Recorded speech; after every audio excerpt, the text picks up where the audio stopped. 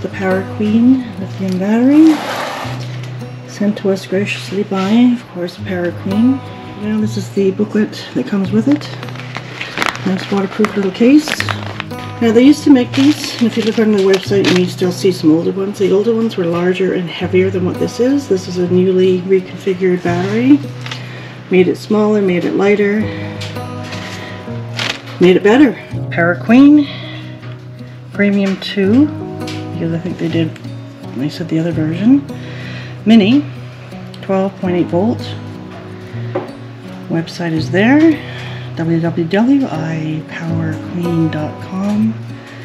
And service is 100% great on these things. You have a problem, they're going to fix it right up for you. So to email them, it's service at ipowerqueen.com. On top of it, got its ports up here. And so they include some stickers in this little bag. Dark stickers. You can on whatever you want them to. And there's actually a nice little product manual that they've included here. Sometimes the product manuals don't really work the product, but this one's actually good. Here's the important safety information, warnings. Tells you exactly what to do. See, it's popping off the yellow plastic tabs I just took off. Putting your screws in. And then make sure the battery is fully charged. Connect your terminals. Put your caps on. And then it's ready to go. Now it's got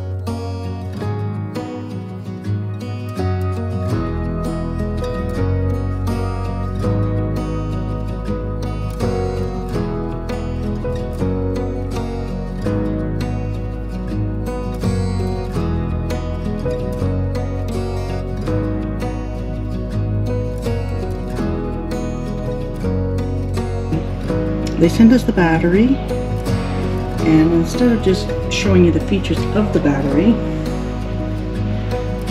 we purchased ourselves a inverter power adapter inverter so that we could actually show you what this can actually charge up.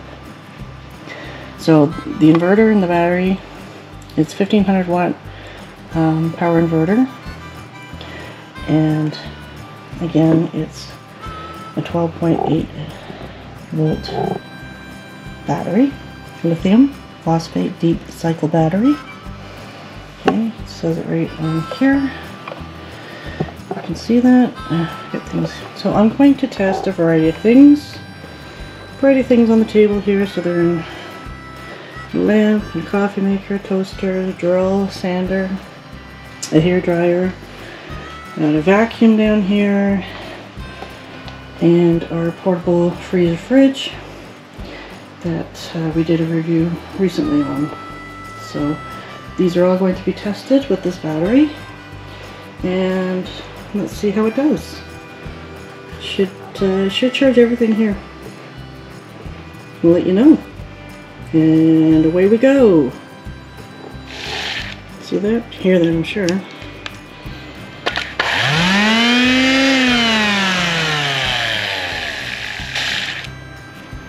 Runs that absolutely perfectly. Inverter's on. Battery's still loading.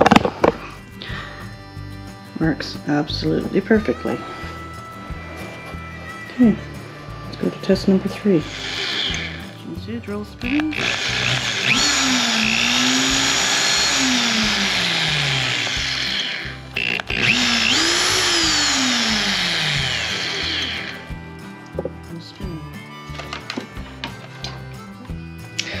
I have the drill and I have the lamp plugged in to the one inverter. The lamp is on. Now the drill. Now you can see the lamp flicker. I don't know if you can see that. Light is flickering when I put on the drill.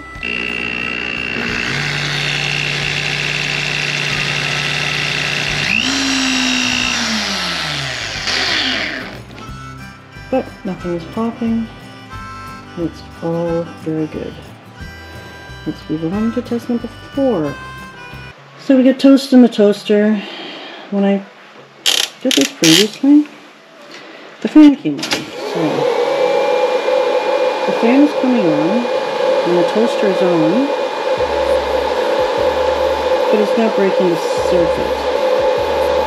It's still toasting, still hot. Toasting like it should be. As you can see on the toaster, it counts down.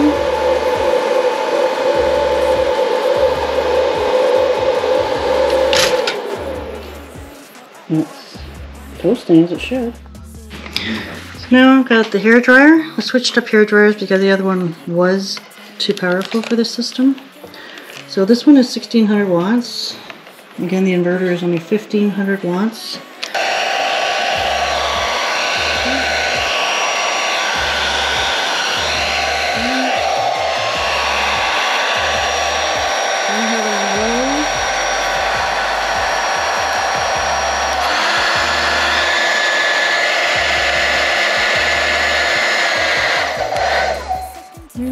Dryer absolutely fine. Okay, now we're at the coffee maker. And although you may look at your appliances as being just a coffee maker, just a toaster, just a kettle, whatever, they are actual power beasts.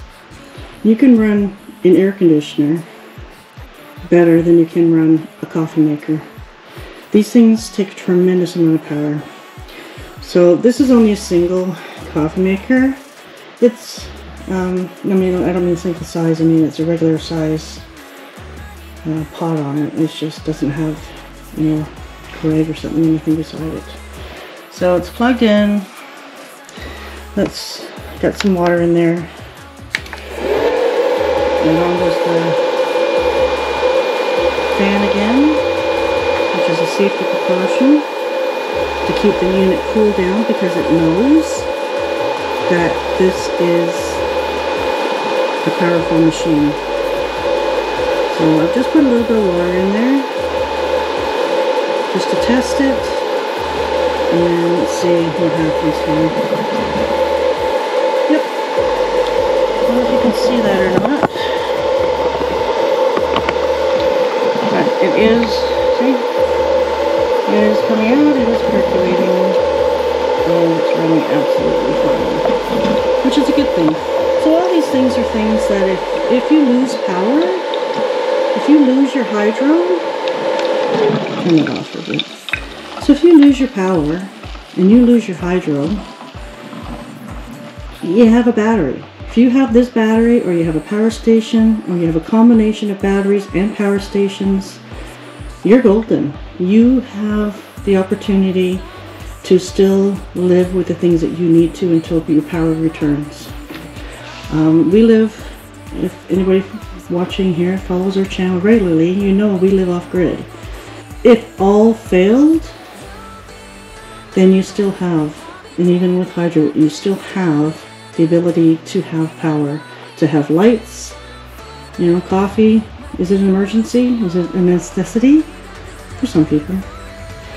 But in reality, as long as you've got lights, if you've got a portable heater, then you could hook that up to this. Okay, plugged in. I just put it on the chair here so that I can access it better and you can see it. So turning it on.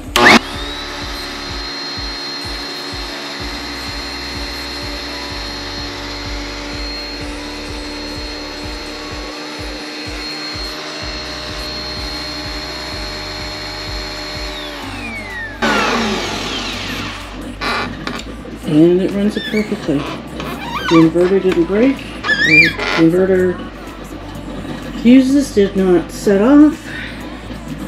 Power didn't turn off. So it runs it fine. That's really good to know. Okay. We have a Bluetti power station here. And it's charging it. So now plugged in, no fan, no fan on the inverter.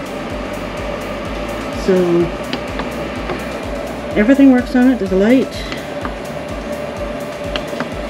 Okay, lights, light works fine. It's powering up. I'm gonna, I have a, ah! and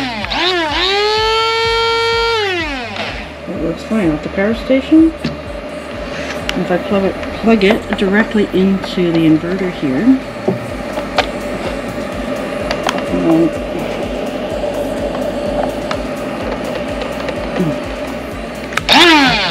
so the Bluetti is powered into it, plugged into it, and so is the, the little uh, grinder I have here. That's impressive. I like that. Between the Bluetti and the Power Queen battery, it all works together. So I have one last test here. Do the laptop. Okay, laptop.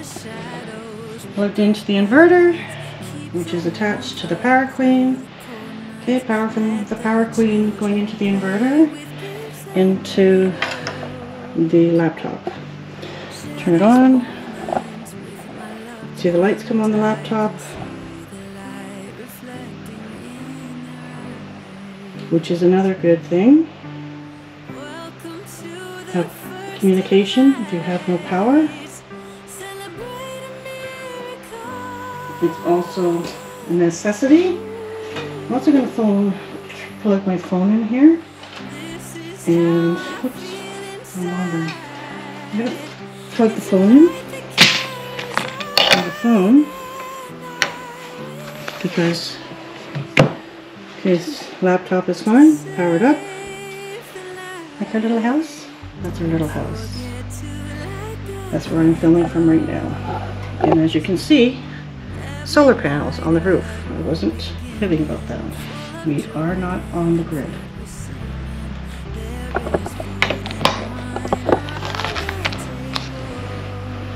So phone is charging.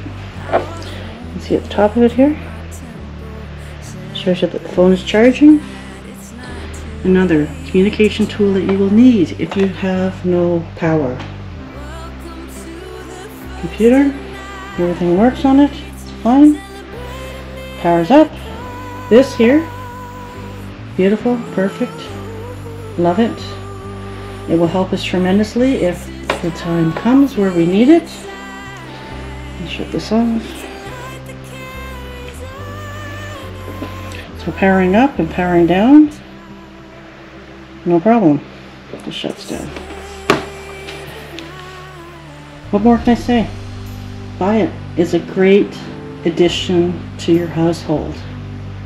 It's a great addition if you need extra power, if you lose your power.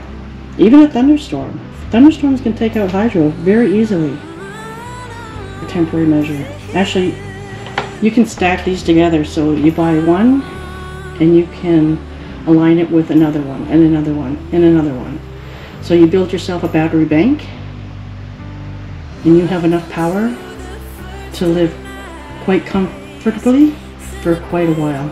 So if you have these things in your crawl space, in your basement, even if you don't use them, have them just in case of an emergency. They used to make a larger one. This is a brand new model that they have. 12.8 volts, premium. Lithium iron phosphate. The best battery you can buy in my in my sense. We have our solar batteries are the same thing. Not this brand but they're lithium iron phosphate deep cycle battery this one here. You won't absolutely won't go wrong with it so check out their website check out what it can do for you look it up research it have this on hand for emergencies is a good thing. As always, thank you for watching. Thank you for subscribing.